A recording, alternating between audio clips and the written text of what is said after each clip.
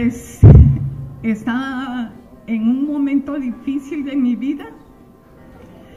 Estaba asistiendo a una de las iglesias por muchos años. Yo había asistido a varias iglesias en la capital, pues yo de allá me vine y estoy en Teculután por la muerte de un mi hijo y el otro estaba aquí.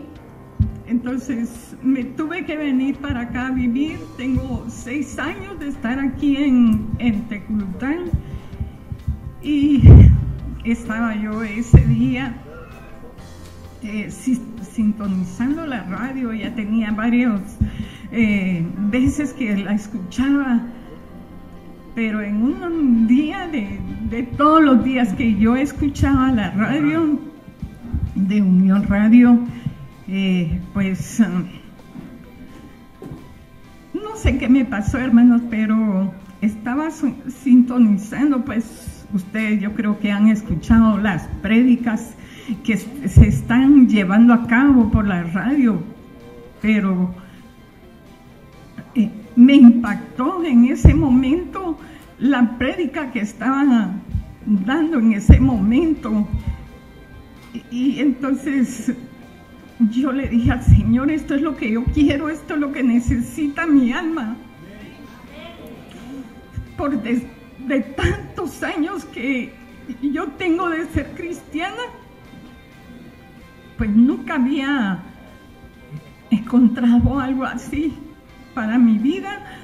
Fue un gran impacto, fue una felicidad. Y le dije yo al Señor, Señor, esto es lo que yo necesito. Señor, ¿dónde está la iglesia? ¿Dónde están mis hermanos? Llévame con ellos, Señor. Quiero ser parte de esa familia de Dios, donde ellos están, quiero estar. Y entonces empecé a clamarle al Señor y le decía, Señor, mándame esos ángeles, por favor, mándalos.